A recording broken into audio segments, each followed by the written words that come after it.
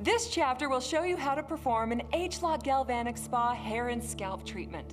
Now before you start, be sure to gather all the necessary items in front of you.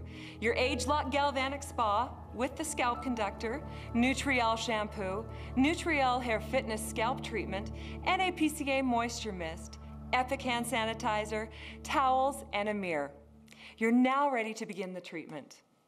For optimal results, you'll want to use Nutriol Hair Fitness Treatment with the ageLOC Galvanic Spa and Scalp Conductor at least three days a week. So let's begin. Now, Matt, thank you for joining us. Glad to be here. Good, good. Are you excited for your treatment? Very much. Good, good. Now, you'll notice that Matt's hair is wet. So before you start your treatment, you'll need to shampoo and condition your hair with Nutriol shampoo and your favorite Nu Skin conditioner. Then lightly towel dry your hair and you're ready to begin.